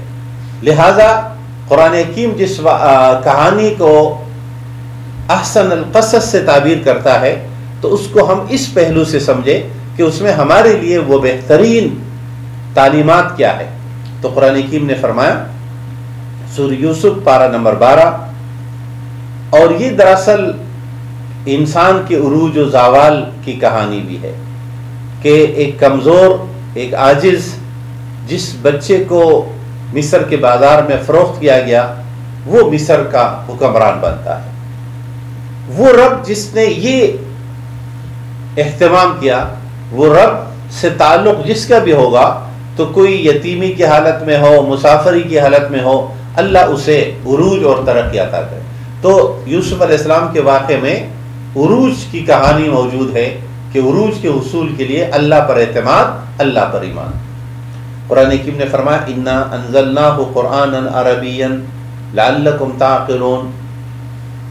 ये आयात इलाई है जो नाजिल किए गए तुम्हारी तरफ़। ये अरबी ज़बान में हमने इस कुरान को नाजिल किया ताकि तुम समझ सको। नहन नकुस अहसन अलकस हम आपको बेहतरीन तालीमत, सबकामोज वाक़ात बयान करते हैं और सबसे बेहतरीन वाक़ बयान करते हैं। ये वाक़ क्या है? इस कौल यूसुफ ही या अबत इन्नी राय तो अहद आशर रखा सबसे पहले यूसुफ अलैहिस्सलाम अपने वालिद याकूब से ख्वाब बयान करते हैं कि मैंने ख्वाब देखा कि ग्यारह सितारे और सूरज और चाँद मेरे आगे सीधा है। याकूब अलैहिस्सलाम ने फरमाया, अपना ये ख्वाब अपने भाइयों को बयान न करें। इन शैतान इंसान अदू मोबिन। ये है पहला सबक कि हमेशा भाइयों के दरमियान शैतान दुश्मनी डालता है। हमारे ख़ानदानी पूरे निज़ाम में ये बुनियादी नुकता सिखाया गया। शैतान ये चाहता है कि ख़ानदान और भाइयों के दरमियान ताल्लुक ख़राब हो, एक दूसरे की मुखालफत हो। इसके लिए वो मुख्तलिफ़ शक्लें इख्तियार करता है।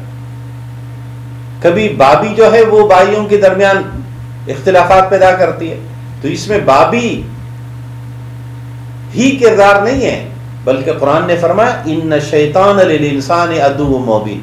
असल में शैतान दुश्मनी करता है तुम्हारा। और फिर शैतान हर एक को अलहकार बनाना चाहता है। कुरान ने फरमाया, हमने आपको, यानी आल याकूब को, और ये अम्बिया का खानदान है तो हमने तुम्हें खूबियाँ दी। पहली खूबी वकजाल यशतवी का रब का अल्लाह ने तेरा इंतखब किया वयुल्लमुका मिन तावील अहदीस ख्वाबों की ताबीर, क्या सलाहियत दी वयुतिम नमत का ताकि तेरे ऊपर वो नेमत पूरी हो, जो हम आल याकूब का पर करते आ रहे हैं। कमा, जैसे कि इससे पहले तुम्हारे अबवे, अला अबवई का मिन कबल इब्राहिम व इसहाक़ा इन रब का अलीम हकीम। और फिर कुरान कीम उम्मत मोहम्मदी सल्लल्लाहु अलैहि वसल्लम को मुखातिब करता है, लक़द कान फ़ी यूसुफ़ व इख़्वतिही आयतुन लिस्साइलीन। बहुत ही रहनुमाई है अलामात है वाक़ात है, यूसुफ अलैहिस्सलाम के इस वाक़े में। यहाँ एक और पहलू भी है यूसुफ अलैहिस्सलाम के वाक़े का, कि यूसुफ अलैहिस्सलाम का वाक़ा दरअसल बहुत ज़्यादा मुशाबहत रखता है रसूल अक्रम सल्लल्लाहु अलैहि वसल्लम की ज़िंदगी में। जिस तरह यूसुफ अलैहिस्सलाम के बाइयों की यूसुफ अलैहिस्सलाम से हसद, उसकी वजह से रसूल अक्रम सल्लल्लाहु वसल्लम को भी उसी तरह अपने मक्की बाइयों से मुखालिफत का सामना करना पड़ा। यहाँ तक कि आप सल्लल्लाहु अलैहि वसल्लम ने मक्का छोड़ा, जैसे कि यूसुफ अलैहिस्सलाम अपने भाइयों की वजह से गुलाम बनाकर फरोख्त किए गए और उस इलाके से मिस्र की तरफ़ चले गए। यूसुफ अलैहिस्सलाम कुएँ में रहे, रसूल अकरम वसल्लम सोर में रहे।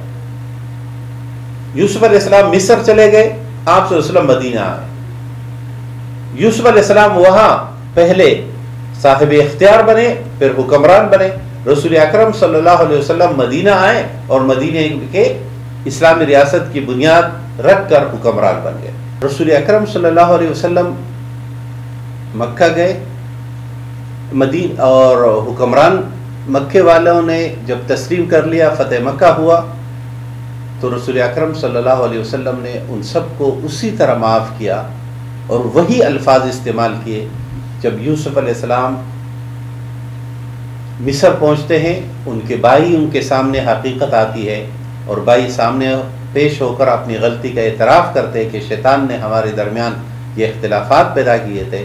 तो रसूल अकरम इसी का नमूना बनते हैं, जब वो फ़तेह मक्के के अगले दिन तमाम अहल मक्का को जमा करते हैं और फरमाते हैं, मैं तुमसे वही बात कहता हूँ, जो मेरे भाई यूसुफ ने अपने भाइयों से कही थी कि ला तसरीब को मलियों यह है खुलासा, यह है पूरा वाक़ रसूल अकरम और यूसुफ अलैहिस्सलाम के इस वाक़े का। हम कुछ कुछ वाक़ात मुख्तसर ले लेते हैं कि यूसुफ अलैहिस्सलाम के भाइयों ने याकूब अलैहिस्सलाम से कहा कि हम ताकतवर है, आप यूसुफ को हमारे साथ भेजिए ताकि हम भी खेल कूद लें। यूसुफ अलैहिस्सलाम छोटे थे तो उनके वालिद उनका बड़ा ख्याल रखते थे याकूब अलैहिस्सलाम तो याकूब अलैहिस्सलाम ने कहा कि मुझे ये डर है कि कहीं तुम खेलने लग जाओगे, उसे कोई भेड़िया जानवर खा लेगा। तो उन्होंने कहा कि कैसे हो सकता है, हम बड़े ताकतवर है। हम साथ देंगे।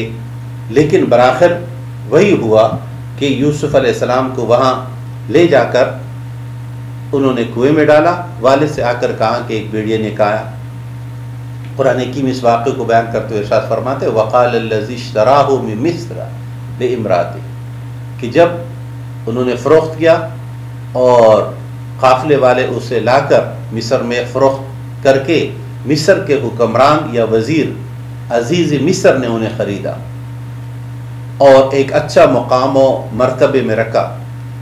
अब यूसुफ के लिए एक आजमाइश तो बाई। बाइयों की ने जो फ़रोख्त किया, वो जब ग़ुलामी की कैफियत में आए, वो, और अब अगर अज़ीज़ मिस्र के घर में आए तो एक और इम्तहान यहाँ मौजूद था कि अज़ीज़ मिस्र की बीवी, जिसका नाम हमारे तारीख़ों में जुलेखा के नाम से बहुत आता है, लेकिन कुरान की भी ये नाम के इस्तेमाल नहीं करता। उन्होंने यूसुफ अलैहिस्सलाम को अखलाकी बेरारवी के लिए इस्तेमाल करने, चाहा कुरान की फरमाते वरावदत हुल्लती हुआ फ़ी बैतिहा नफ्सी ही जिनके घर में थे, वही औरत उनसे अपने नफ्सियानी ख्वाहिश पूरी करने के लिए बुलाने लगी और इसके लिए वगल कतिल अबवाबा दरवाजे बंद किए अपनी तरफ़ बुलाने लगी।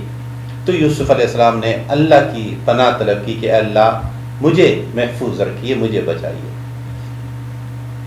और यूसुफ अलैहिस्सलाम खुद को बचाने के लिए दौड़ पड़े। जुलेखा पीछे दौड़ पड़ी और जब दरवाजे पर पहुँचे तो जुलेखा का शोहर वहाँ मौजूद था। जुलेखा ने फ़ौरन बयान बदला और कहा कि ये आप जिस लड़के ग़ुलाम को लाए हैं, ये मेरे इज़्ज़त के दर पे है। अल्लाह तबारक ताला ने एक अजीब तरीका अपनाया। एक अक्लमंद शख्स ने कहा कि भाई, ये तो बड़ी आसान सी बात है। दोनों को देख लिया जाए कि हमला और कौन है। ज़ाहिर है, जो हमलावर होगा तो मुकाबिल के कपड़े पटे हुए होंगे। तो अगर कपड़े यूसुफ के पटे हैं तो इसका मतलब है कि हमलावर जुलेखा थी। और अगर कपड़े जुलेखा के पटे हैं तो इसका मतलब होगा कि हमलावर यूसुफ है। और जब कपड़े देखे गए तो यूसुफ अलैहिस्सलाम का पिछला दामन पटा हुआ था।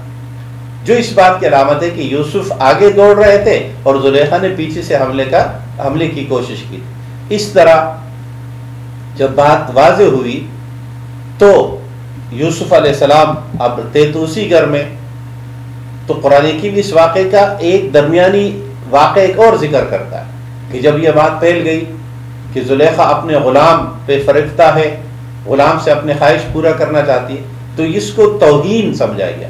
यहाँ इस अखलाकी पहलू को देखना ज़रूरी है कि जिस माशरे के अपर क्लास का तस्वुर ये हो कि किसी से भी अपने ख्वाहिशात नफ्स पूरे किए जा सके, बस माशरती स्टेटस बराबर हो।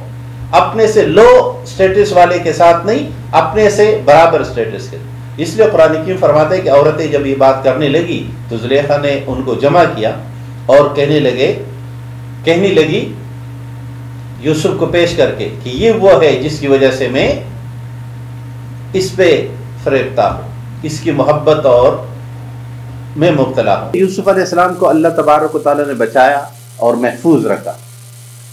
जो सबक इस वाक़े में है, वो ये है कि दाई हमेशा अपना दामन पाक रखता है। दामन दागदार के साथ कभी भी अल्लाह की दावत का काम नहीं किया जा सकता।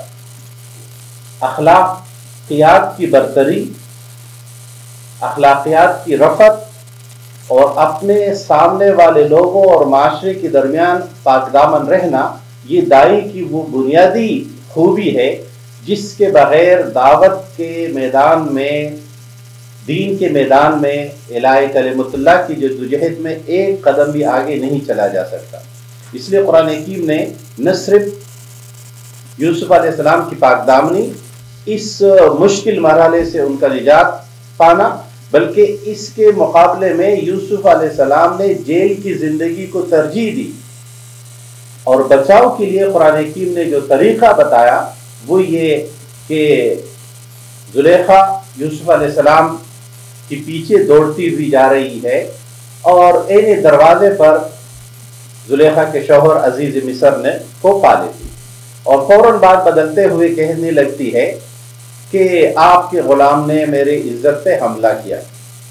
और एक अक्लमंद उस वक्त के एक जिम्मेदार शख्स इस बात का फैसला यूँ करते हैं कि देख लिया जाए कि यूसुफ के कपड़े पटे हुए हैं या जुलेखा के कपड़े पटे हुए ये बात वाजे है कि हमला करने वाला वो होगा जिसने दूसरे के कपड़े फाड़े हैं। और फिर जब अमली तौर पर देखा गया तो यूसुफ अलैहिस्सलाम का पिछला दामन चाक था। ये इस बात की अलामत और वाज तौर पर यह बात वाज हुई कि जुलेखा यूसुफ पर हमलावर हुई। लेकिन कुरान हकीम इस वाक़े का एक और पहलू बयान करता है कि इस माशरे के अखलाकी सतह इस हद तक गिर चुकी थी कि ये बात तो मायूब नहीं समझी गई कि जुलेखा ने एक गैर मर्द से क्यों कर ऐसे ताल्लुकात उसवार किए, बल्कि बुरी बात ये समझी गई कि जुलेखा ने अपने माशरती स्टेटस से कमतर एक शख्स के साथ, एक गुलाम के साथ ताल्लुकात बनाने चाहे। अगर अपने जैसे माशरती स्टैंडर्ड के मुताबिक किसी से बनाया जाए तो ये गोया एक अच्छी बात थी। और यही वो फिरौनी निज़ाम की खूबी है, जिसको सरमादाराना निज़ाम आज भी सपोर्ट करता है। इसके चाहे सोशलिज्म हो, चाहे कैपिटलिज्म हो, या नाजीज़म की कोई शक्ल हो। माशरती अखलाकियात इन तीनों चारों निज़ामों के यकसा वकूफ पजीर होते हैं। यानी मास्को का माशरा, वाशिंगटन का माशरा हो या बर्लन का माशरा हो। अखलाकी लिहाज से कैफियत एक होती है। ये इस बात की अलामत है कि इन चारों इज्मों के नतीजे में जो माशरा वजूद में आता है, ये उसी जहालत पर मुश्तमिल होता है, जिस जहालत का माशरा फिरौन के दौर में मौजूद तो जुलेखा, दरबारियों के और तबका अशरफिया के खातन को जमा करके उनके हाथों में फल देकर और छुरी देकर यूसुफ को उनके सामने पेश करती है कि ये वो लड़का है, ये वो नौजवान है इसकी खूबसूरती को देखो, क्या ये इस काबिल नहीं है कि मैं अपने स्टैंडर्ड से उतर कर इस लड़के के साथ जिनसी ताल्लुक कायम करूँ, जो कि मैं चाहती हूँ? ये खातन तबका अशरफिया के ये इस बात की तारीफ़ कर लेते कि हाँ ये लड़का वाकई मर्दाना वजाहत में इस काबिल है कि तुम अपनी ख्वाहिश इससे पूरी कर सको। कुरान हकीम यूसुफ अलैहिस्सलाम की पाकदामनी और इसके लिए उनकी कुर्बानी का ज़िक्र करता है कि उन्होंने फरमाया, ए अल्लाह, मुझे जेल की ज़िंदगी पसंद है, इससे कि मैं यहाँ गुनाह की ज़िंदगी का शिकार हो जाऊँ।